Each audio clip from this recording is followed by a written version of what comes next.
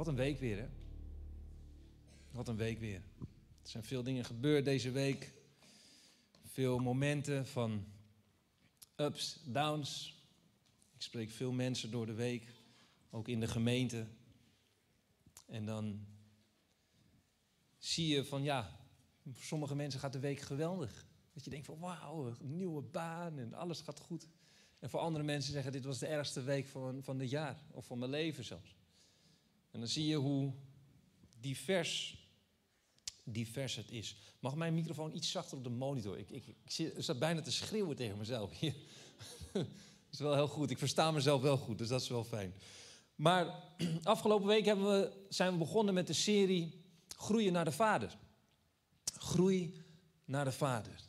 En ik heb veel, veel, veel mensen gehad die iets, die iets vonden van die preek en mij ook hebben laten weten. Uh, dat was, uh, was mooi. Was, uh, je ziet hoeveel het raakt als je het hebt over de Vader. Dat is niet makkelijk. Het, het, het, het, het kan stekend zijn, maar het kan ook iets moois zijn. Als je bent opgegroeid met een goed vaderbeeld en een vader in huis, dan is het prachtig. Dan is het ja, dat herken ik. Als je op bent gegroeid zonder vader, of misschien een vader die uh, het niet goed heeft gedaan, dan is dat een heel moeilijk hoofdstuk. Want hoe kijken wij naar onze hemelse vader als wij onze aardse vader niet kennen? Of niet goed kennen? Of misschien een verkeerd beeld hebben van de vader? En in mijn gesprek met verschillende christenen heb ik ook vaak teruggekregen van ja, ik vind het heel moeilijk om God te zien als vader, van, want wat is nou een vader? Wat is een vader? Afgelopen week hebben we dus gehad over het voorbeeld van de vader. En daarin is het belang van een godvrezende vader is heel belangrijk. Als er één ding ontbreekt, dan is het in onze maatschappij een godvrezende vader. En dat was ook een harde confrontatie. Toen ik die lijst afgelopen weken oplas, ik kreeg van veel mensen terug van ja, dat, dat, dat raakt ergens. Sommige mensen zeggen ja, daar herken ik me helemaal niet in, maar ik had een lijst opgenoemd van statistieken uit een onderzoek van wat het gevolg is van het hebben van geen vader. Of gevolg kan zijn van het hebben van geen vader. Het kan zijn.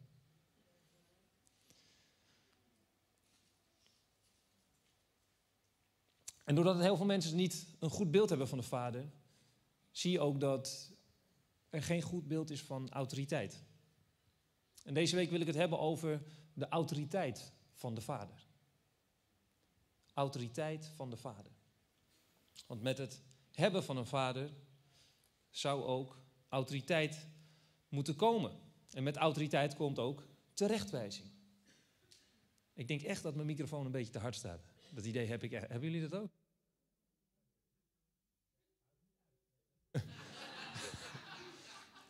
ik denk dat de gain ietsje zachter mag.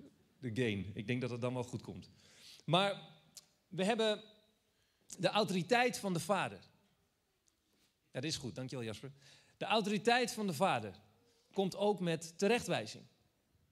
Autoriteit van de Vader komt ook met terechtwijzing. Maar er is een heel groot verschil tussen autoriteit een vader die autoriteit heeft en een vader die autoritair is. En wat is nou dat verschil tussen autoriteit hebben en autoritair zijn? Er zit een groot verschil in.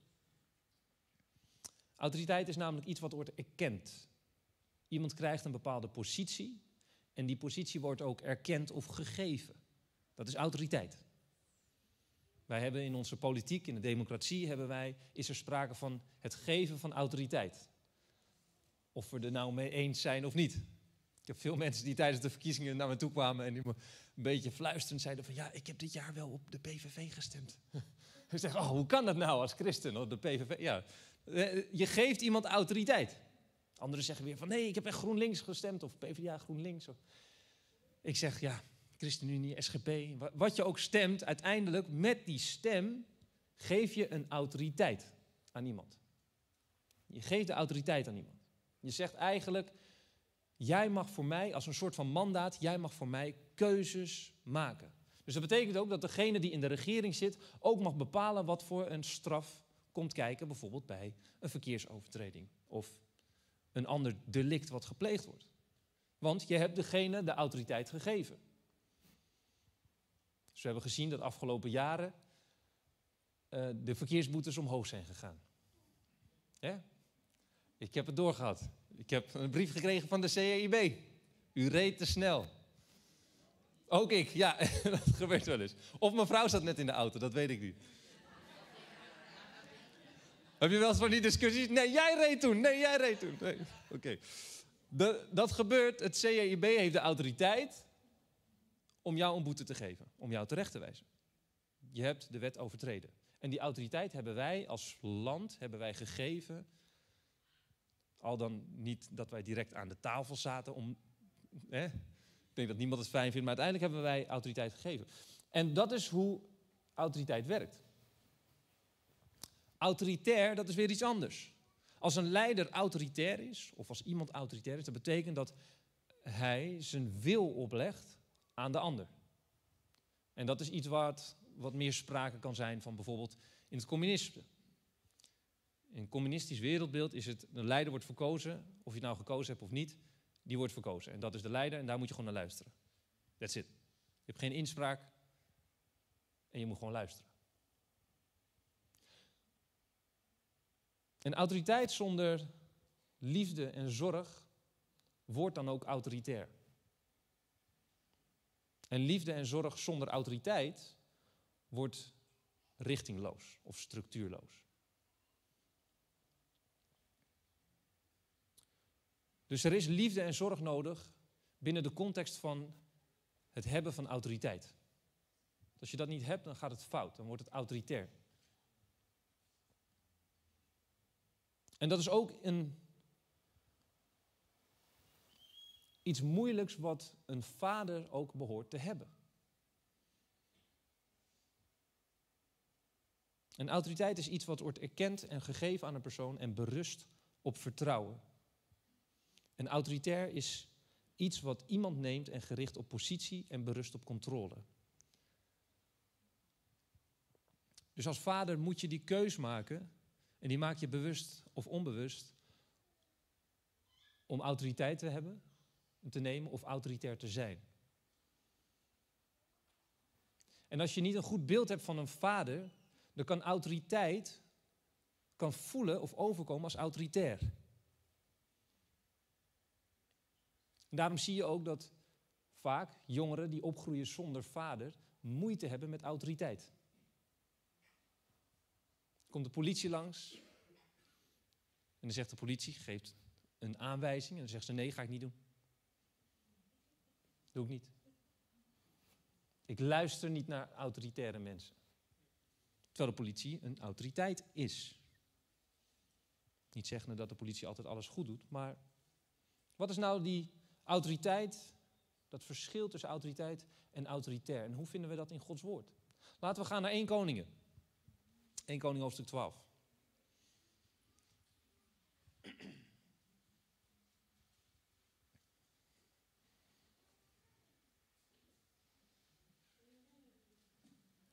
En zoals jullie horen zijn er wat kinderen in de zaal. Dat komt omdat de kinderdienst er niet is. Omdat er... We hebben meer vrijwilligers nodig, daar komt het op neer. Oké? Dus voel je je geroepen? Doe er wat mee. Um,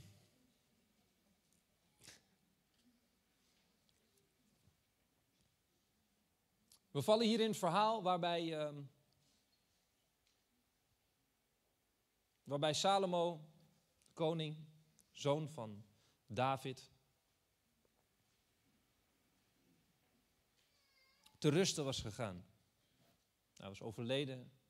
En altijd als er een koning overlijdt, moet er een troonopvolger zijn. En in dat geval was het Rehabiam, de zoon van Salomo, of één van de zoons van Salomo, die de opvolger zou zijn. En dan lezen we vanaf vers 1. Rehabiam ging naar Sichem, want heel Israël was naar Sichem gekomen om hem koning te maken. En het gebeurde nu toen Jerobeam, de zoon van Nebat, dit hoorde, terwijl hij nog in Egypte was.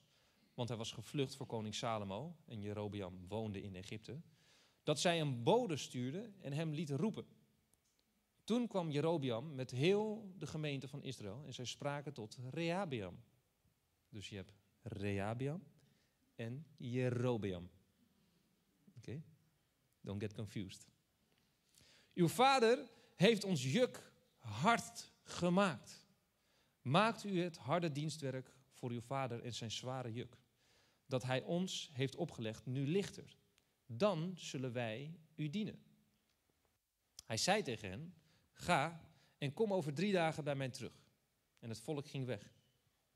En koning Rehabiam pleegde overleg met de oudsten die bij zijn vader Salomo in dienst waren geweest, toen die nog leefde, en zei, wat raadt u aan om dit volk te antwoorden? En zij spraken tot hem, als u heden een dienaar voor dit volk wil zijn, en als u hen dient, hun antwoord geeft en goede woorden tot hen spreekt, dan zullen zij alle dagen uw dienaren zijn. Maar hij verwierp de raad van de oudsten die zij hem hadden gegeven.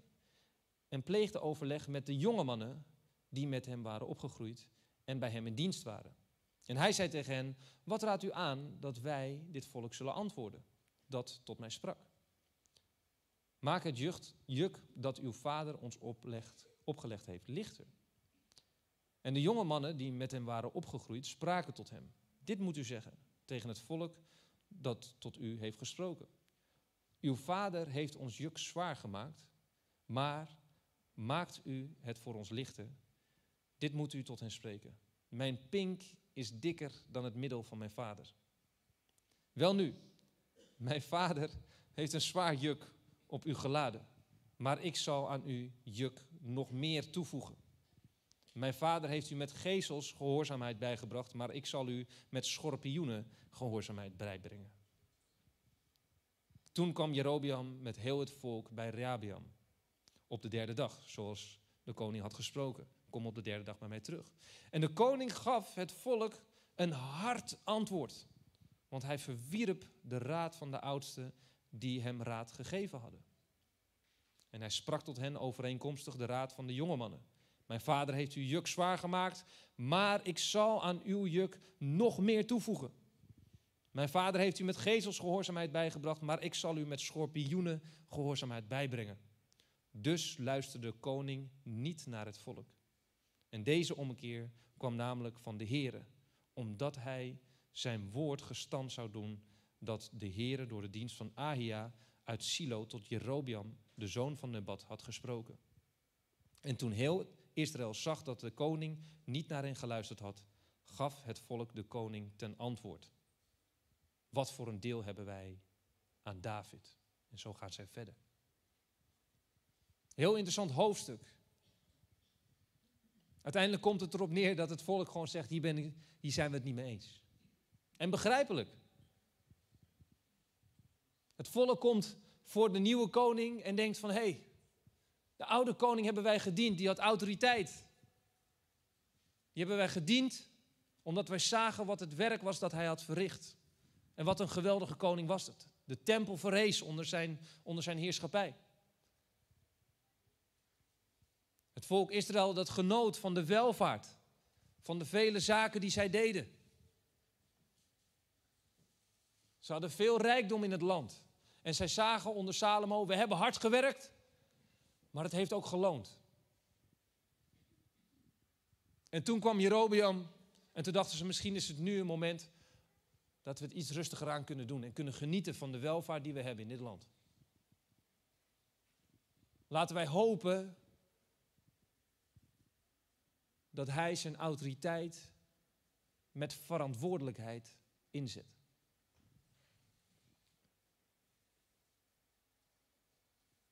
En zo zien we het verhaal waarin Rehabiam niet luistert naar de oudste niet luistert naar de wijze raad.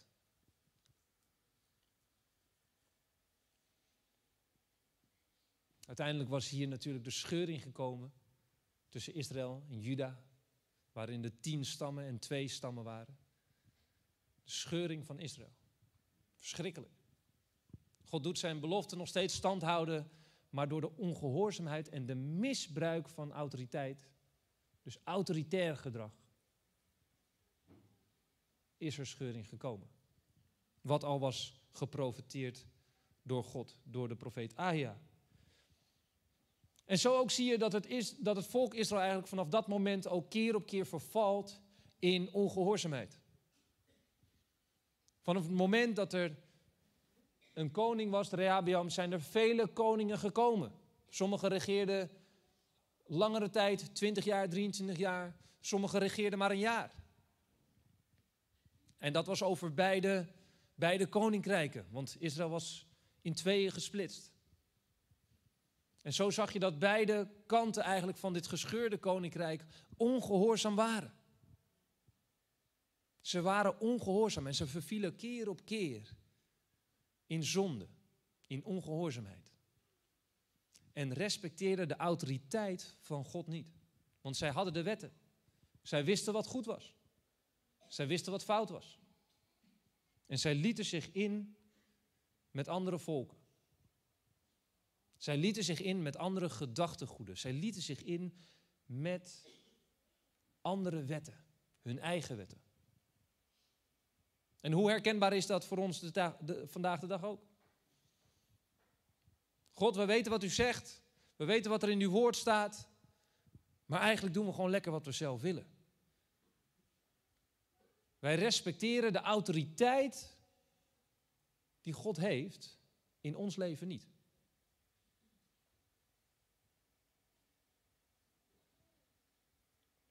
Maar dat is wel wat een vader zou moeten hebben, is de autoriteit. Waarom? Met autoriteit komt ook verantwoordelijkheid. Maar je kan geen verantwoordelijkheid nemen als je geen autoriteit hebt. Dus als de vader een lijn uitzet, onze hemelse vader, als hij een richtlijn geeft of als hij ons een wet geeft, dan is dat om ons te beschermen. Dan is dat dat ons leven goed mag gaan. Opdat het u goed gaat. En daarom is ook die gehoorzaamheid zo belangrijk. Jezus zegt zelf: Als u van mij houdt, dan gehoorzaamt u mij. Dan houdt u zich aan mijn geboden. En het verval van Israël vindt ook altijd plaats wanneer zij ongehoorzaam zijn. Wanneer zij ervoor kiezen om niet de autoriteit van de Vader te respecteren. En wat zegt het Oude Testament hierover? Als we dan kijken naar Salomo, die veel wijze dingen heeft opgeschreven. Over die autoriteit die een vader zou moeten hebben. Ook in terechtwijzing. Laten we gaan naar Spreuken 23.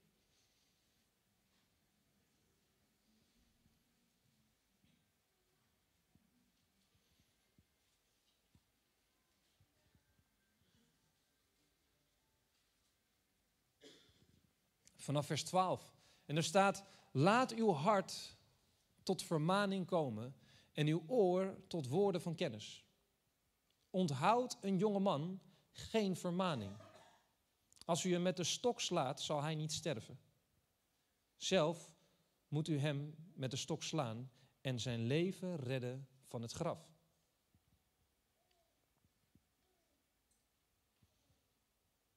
Dit is niet een plek waarin de Bijbel pleit voor mishandeling van een kind. Oké? Hoewel sommige ouders denken op sommige momenten, nou, zo'n stok, dat zou niet mis... Niet doen. Oké? Dan ga je problemen krijgen met bureau jeugdzorg. En dan zeg je, ja, maar de voorgangers zei dit en dit. Nee, nee, trek het niet uit zijn verband, alsjeblieft. Oké? Het laat je zien dat de Bijbel spreekt over het terechtwijzen van een jongeling, van een jonge man. En hoe belangrijk dat is. Laten we gaan naar Spreuken 29. Spreuken 29, vers 15.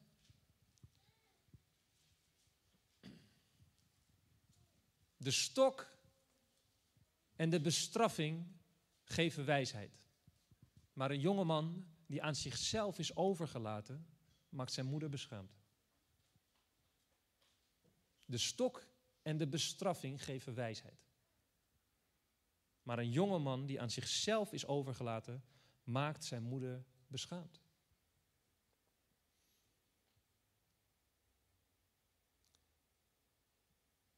Het moment dat een, dat een kind zich onttrekt aan autoriteit en eigenlijk zegt ik doe maar gewoon lekker wat ik zelf wil, is diegene stuurloos geworden. En een van de dingen die wij als christenen, maar ook gewoon überhaupt als mensen vandaag de dag denken van, oh, ik ben 18, ik ben nu volwassen, ik hoef geen verantwoording meer af te leggen. En dat is een gevaar. Ik heb geleerd hoe belangrijk het is om verantwoording af te leggen aan een autoriteit. En een autoriteit kan je vader zijn of misschien een geestelijk vader. Maar het is ontzettend belangrijk. Want wat gebeurt er als wij geen autoriteit respecteren in ons leven? Geen vader hebben of geestelijk vader hebben aan wie wij verantwoording afleggen?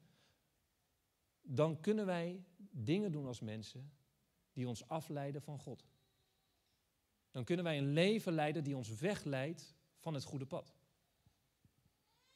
Een van de dingen waar wij als mensen heel goed in zijn, is onszelf eigenlijk een beetje foppen. Ah, dit gebeurt een keer, maar weet je wat, niemand weet ervan, dus het is niet zo erg. Oh, ik heb weer even net te veel gegeten. Ik had met mezelf afgesproken dat ik het niet zou doen, maar het is niet erg. Ik heb net een wijntje te veel gedronken. Ik had met mezelf afgesproken, maar weet je wat, niemand weet ervan, het is niet erg. En zo hebben we allerlei vlakken in ons leven waarin wij eigenlijk niemand hebben aan wie wij verantwoording afleggen, waardoor er scheefgroei ontstaat. Wij hebben geen autoriteit in ons leven waar wij verantwoording aan moeten afleggen. Want in de kindertijd is het heel makkelijk. Als mijn zoon iets doet wat niet mag, dan krijgt hij dat thuis te horen. Hij valt onder mijn autoriteit. Dus doet mijn zoon iets wat niet, wat niet kloppend is of waarin hij weet dat hij ongehoorzaam is, dan krijgt hij gelijk de rekening. Wat heb je gedaan? Dat mag niet, dat kan niet. Ga naar je kamer of je mag een week lang geen, geen filmpjes kijken. Drama. Drama. Mag niet op je switch. Nee. Het is een drama. Want je, je, je voert de autoriteit, je, je voert het uit, maar wel met de gedachtegang, ik wil dat het hem goed gaat. Ik wijs mijn zoon terecht, en mijn dochter ook trouwens, nu steeds meer, um, omdat zij, ja, dat is moeilijk hoor. Mijn dochter is zo lief, dat vind ik heel moeilijk. Maar goed, ik doe het ook. Omdat ik van de hou. Ik, ik heb autoriteit over ze en ik voer het ook uit. Ik maak er werk van. Ik neem mijn verantwoordelijkheid. En ik wil dat het ze goed gaat. En daarom geef ik ze grenzen, kaders.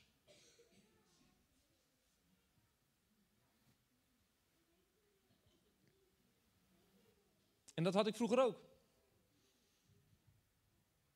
Ik was niet een heel. Hoe zeggen we dat? Ik was niet zo'n brave jongen. Maar ook niet heel heftig. Maar er waren. Dankjewel, Jan. Er waren van die momenten dat je dan thuis weer iets had gedaan wat niet mocht. En ik kreeg vroeger, in mijn wereldbeeld was dat ook gewoon nog heel normaal, ik kreeg, kreeg vroeger met de houten pollepel. Ja, mijn, mijn ouders waren van de oude stempel, ik kreeg met een pollepel vroeger. Dus als ik iets had gedaan, dan wist ik al, dan hoorde ik Joshua naar de keuken. En in de keuken, daar gebeurde het altijd.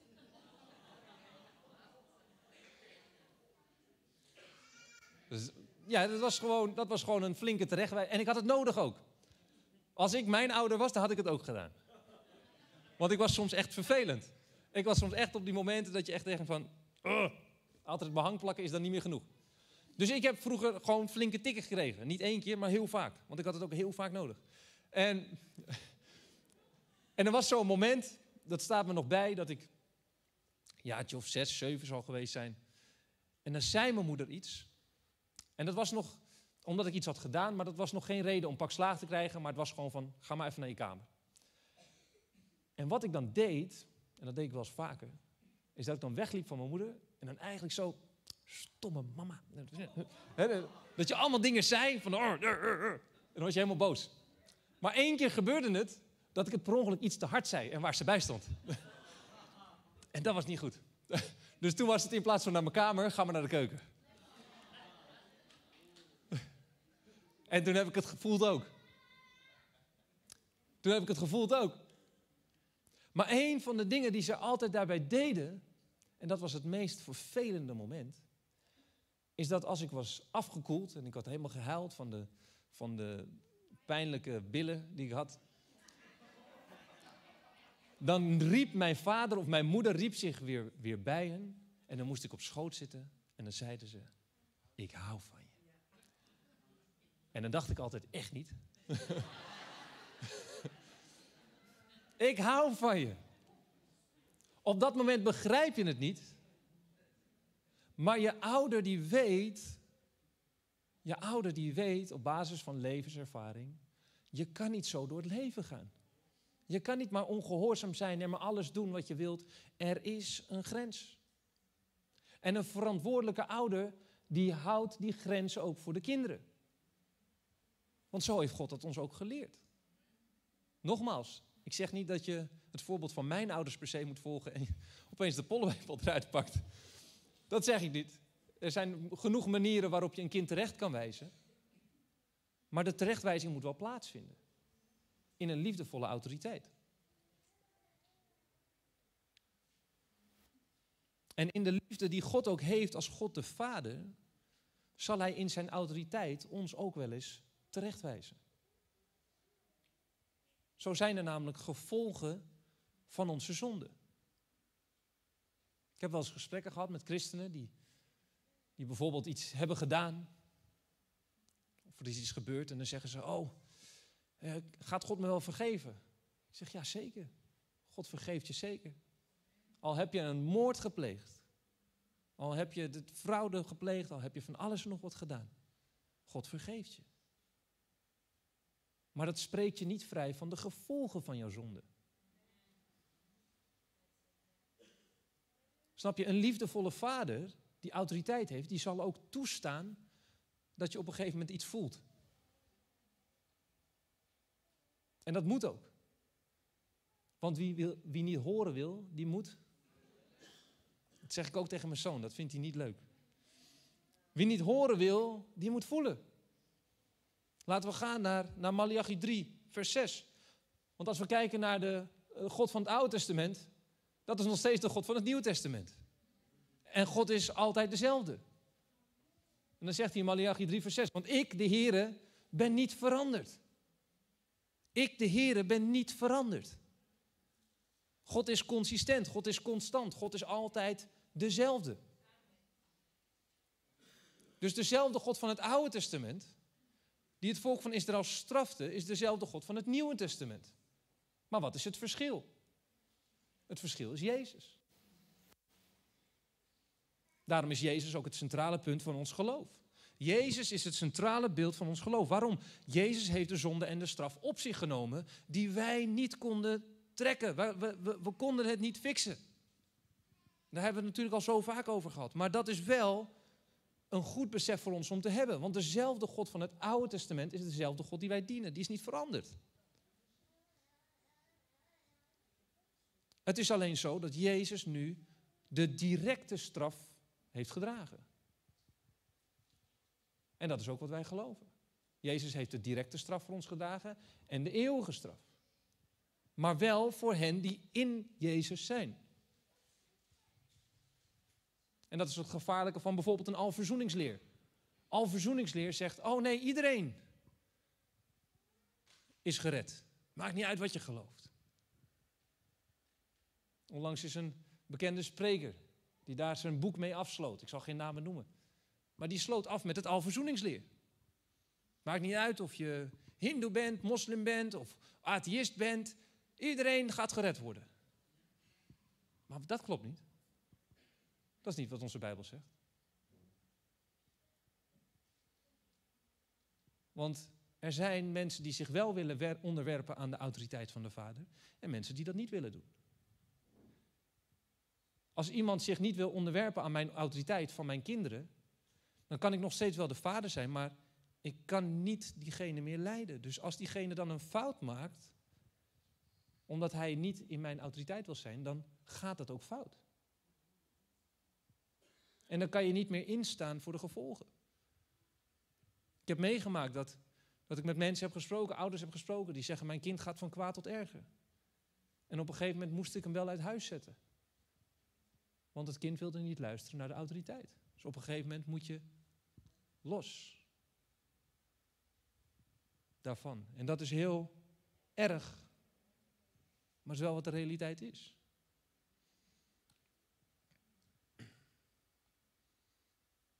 Maar daarbij komt ook in het Nieuw Testament komt er een waarschuwing.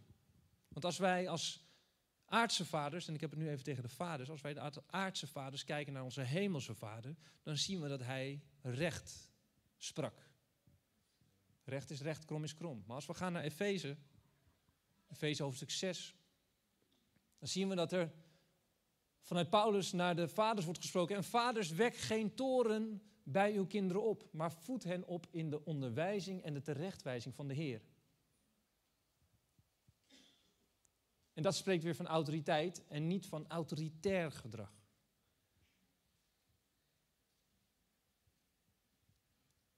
Als vaders zouden wij onze kinderen moeten winnen met liefde.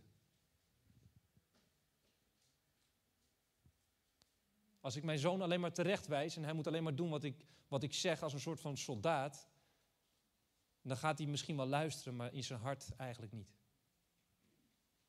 En God wil ons hart. Dus God is ook geen autoritaire God. Als je van hem weg wilt, dan gaat hij je niet proberen vast te houden. Dus je hebt een vrije wil. Maar wij moeten wel realiseren dat wanneer wij bij God komen, dat wij ons onderwerpen aan zijn vaderlijke autoriteit voor ons leven. Heren, wat u zegt over mijn leven, niet wat ik zeg. Wat u wilt voor mijn leven, niet wat ik wil voor mijn leven.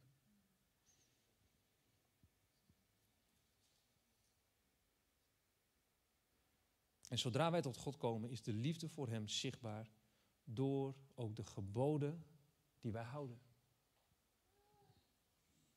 En dat is iets wat ik heel vaak in gesprekken heb met mensen. Die zeggen, oh, eh, jij bent christen, jij moet, jij moet je houden aan allemaal regeltjes zeker. Je moet allemaal dingetjes doen, hè. Je mag heel veel niet. Oh, dit mag je niet. Oh, dat mag jij zeker niet, hè. Dat mag je niet. Paulus zegt het zo mooi. Ik mag alles. Alles is mij toegestaan, maar niet alles is nuttig. Snap je, wij als christenen zijn niet geroepen om robots te zijn die zich alleen maar houden aan regeltjes. Maar het is eerder vanuit die diepe liefde die wij hebben ontvangen van God in ons leven, willen wij bepaalde zaken niet meer doen. En kiezen wij ervoor om ons te onderwerpen aan zijn autoriteit. Voor ons leven. En daarin zien we dus ook in Johannes 3, vers 36. Wie in de zoon gelooft, heeft eeuwig leven. Maar wie de zoon ongehoorzaam is, zal het leven niet zien, maar de toren van God blijft op hem. Hoe belangrijk is het om gehoorzaam te zijn? Gehoorzaam te zijn naar God. Je willen onderwerpen aan de autoriteit van God. En als wij denken dan aan de vader, wordt vaak ook het voorbeeld van de verloren zoon aangehaald. De verloren zoon kennen we natuurlijk allemaal. Het verhaal dat de zoon weggaat en zijn rijkdom verkwist en vervolgens met hangende pootjes weer terugkomt. En het zou rechtvaardig zijn geweest als iemand autoriteit heeft en die zoon ziet aankomen ja, jij bent hier niet meer welkom. Dat zou rechtvaardig zijn in de ogen van mensen. Jij hebt alles verkwist, je hebt, je hebt helemaal nergens recht meer op. Maar dan kunnen wij niet vergeten dat God een God is die zijn autoriteit uitvoert met genade.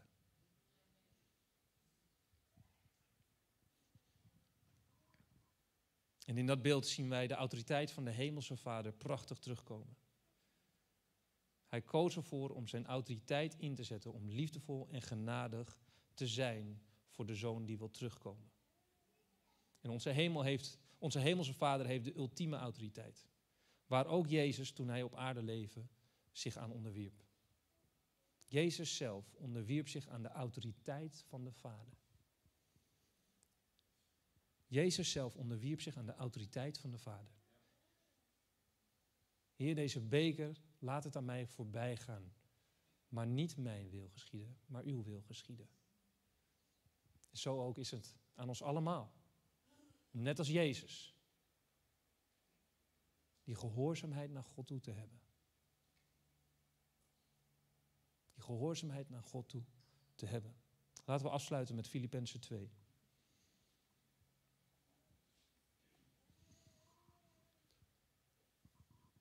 Filippenzen 2, vers 5. En laat daarom ook, laat die gezindheid in u zijn, die ook in Christus Jezus was. Die, terwijl hij in de gestalte van God was, het niet als roof beschouwd heeft aan God gelijk te zijn, maar zichzelf ontledigd heeft door de gestalte van een slaaf aan te nemen en aan de mensen gelijk te worden. En in gedaante als een mens bevonden, heeft hij zichzelf vernederd en is gehoorzaam geworden tot de dood. Ja, tot de kruisdood. Daarom heeft God hem, Jezus, ook bovenmate verhoogd en heeft hem een naam geschonken boven alle naam. Opdat in de naam van Jezus zich zou buigen elke knie van hen die in de hemel en die op aarde en die onder de aarde zijn. En elke tong zou beleiden dat Jezus Christus de Heer is tot heerlijkheid van God de Vader. Amen. En dat is die autoriteit die een liefdevolle vader heeft. De autoriteit van de liefdevolle vader. En laten wij daarbij staan. We gaan over naar ook het avondmaal, wat wij elke tweede zondag van de maand met elkaar vieren.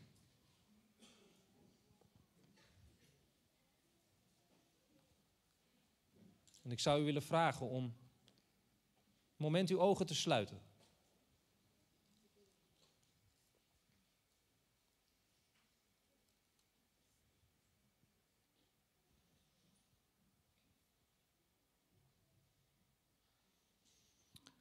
Vader, ik dank u zo voor dit woord. Vader, ik dank u voor uw genade, voor uw trouw. Heer, maar ook voor de autoriteit die u heeft. Heer, en daar valt nog zoveel over te zeggen in uw woord. Wat zo diep en zo rijk is. Maar ook zo vandaag, heren, zijn, zijn er vele, heren, die niet gehoorzaam zijn aan uw woord. Niet gehoorzaam zijn aan u. Heren die uw autoriteit niet erkennen. En daardoor, net zoals het volk van Israël, keer op keer vallen. En vervallen in zonde. En Heer, ik bid u zo dat u vandaag ook, Heer, tot ons hart wilt spreken. Heer, als wij het zijn, Heer, dat wij ongehoorzaam zijn geweest aan u omdat wij dachten beter te weten. Heer, omdat wij dachten dat wij het zelf allemaal wel kunnen en eigenlijk onszelf de autoriteit maakten van ons leven. Heer, ik vraag u zo, Heer, of u daarin onze hart, Heer, wilt doorzoeken. Doorzoek ons hart, Heer. Als we van u afgedwaald zijn, Heer, als wij het leven hebben geleid zoals de verloren zoon. En alles hebben gedaan, Heer, wat, wat u tegenstaat. Heer, ik vraag u vergeving daarvoor. En Heer, help ons ook, Heer, dat als wij geen beeld hebben van een vader, of van een liefdevolle vader, Heer, dat we ook mogen zien, Heer, dat u wel die liefdevolle vader voor ons wilt zijn en bent. Maar ook de vader die niet alleen maar zegt ik hou van je, maar ook de vader die zegt hé, hey, tot hier en niet verder.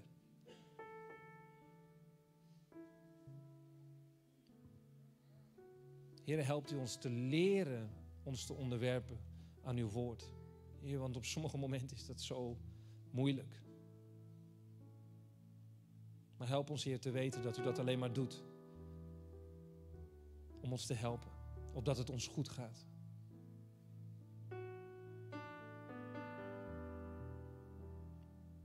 Spreek dit woord, Heer, tot uw kinderen. En als er een moment is dat je zegt van hé, hey, ik,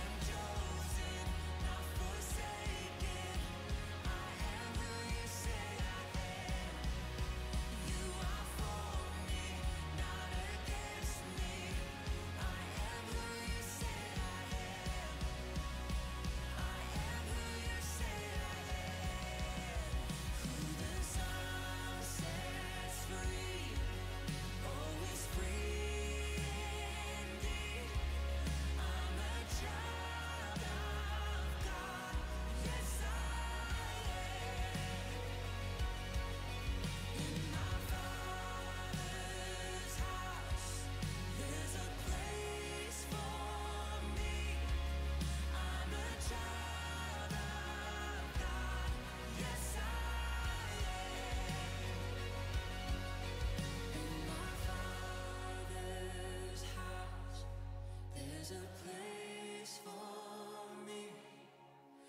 a child of God. Yes, I.